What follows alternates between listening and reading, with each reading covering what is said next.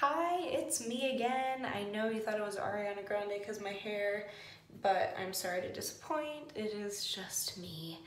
Um, but today I'm going to be showing you this Valentine's Day look. I did an earlier, or I did a another Valentine's look earlier this week that was a little bit more on the subtle side. So this is my take on a more bold Valentine's look. So I don't go into any of my face makeup. Um, I think I start with my blush is where I start explaining.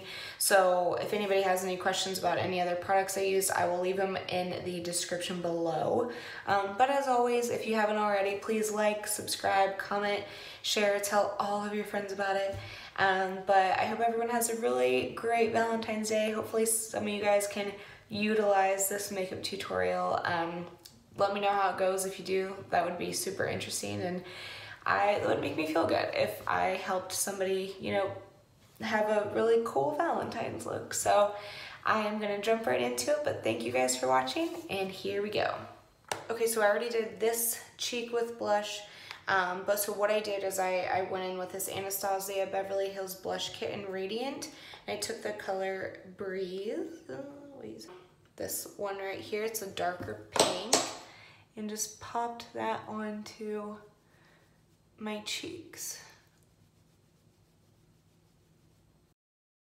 Okay, so next I'm gonna go in with my highlighter. I'm using, as always, the Anastasia Beverly Hills Glow Kit in Sugar. So since I'm going for a little bit of a darker look, for some reason when I do darker looks, I always use this gold butterscotch highlighter.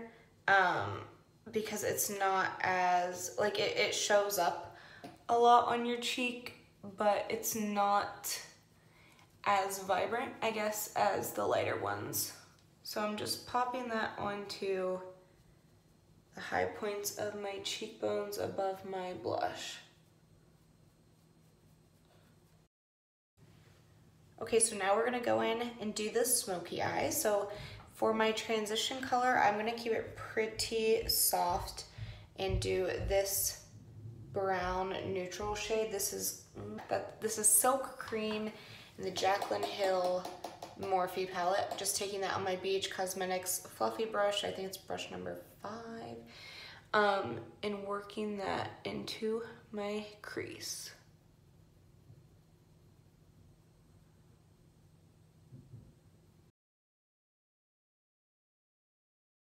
Okay, so now I'm gonna go in with my darker shade. So a lot of people for smoky eye, I feel like you think of black, at least I do.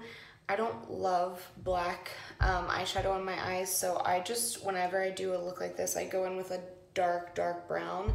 So I'm gonna go in with this one, which is Chip in the Jaclyn Hill Morphe palette, and take that on my BH Cosmetics brush number six. It's honestly it's just a very, it's the same version of this, but just a tiny bit smaller. Um, so I'm gonna take a small amount of that and with this color, you wanna focus it on the outer corner of your eye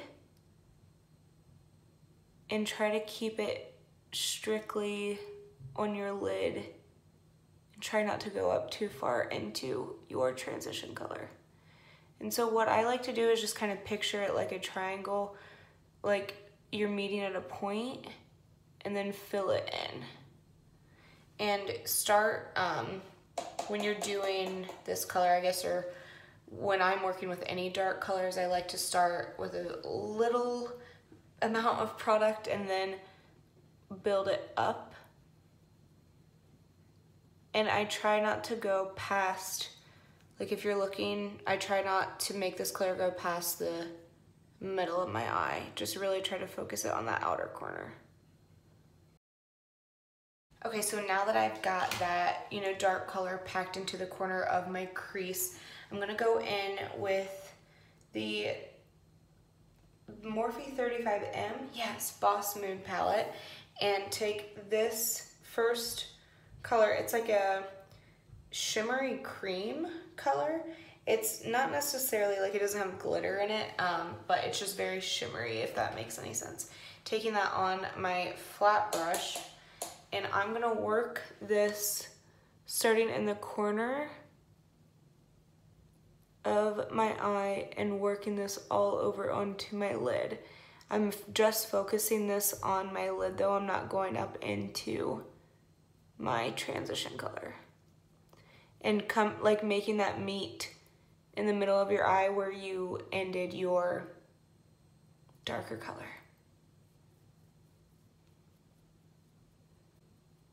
If you do want um, this color to be a little bit more pigmented, wet your brush before you put it in the pan, um, or you can get the product on the pan and then spray it um, with some setting spray or you know whatever you have.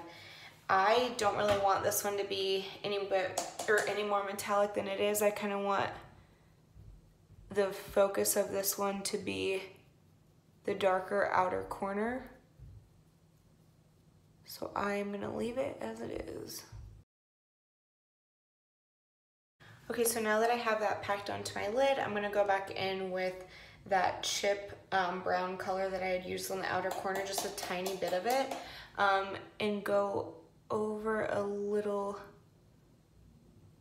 bit of what I had just done to kind of make those colors blend together a little bit more. So since we're going for a more smoked out eye look, I'm gonna take that chip color, again, that same brown color on the same brush that I just used, and I'm gonna drag that under my lash line or along my lash line to kind of give it a little bit more of a smoky look. And I'm not, I'm not gonna bring it all the way into my corner. I'm kind of trying to keep it on the bottom lash line and stop where it stops on the top. All right, so now I'm gonna go in with some liquid eyeliner. This is the Tarte Sex Kitten. Um, honestly, I love all of Tarte's eyeliners, so if you need a good liquid liner, definitely recommend Tarte. Um, but I am going to do this off camera. If anybody thinks it's helpful to have me do it on camera, let me know and I will next time. Okay, so now I'm gonna go in with some mascara. This is the Tarte Tarteist mascara and go do some of this just on my bottom lashes. So for lips, since it's Valentine's Day, I'm gonna do a like bright red lip, which I never, ever, ever do this. I don't know the last time I wore red lipstick, so so I'm really nervous about this, um, but we're gonna do it anyway. You know, you gotta live a little. So here we go.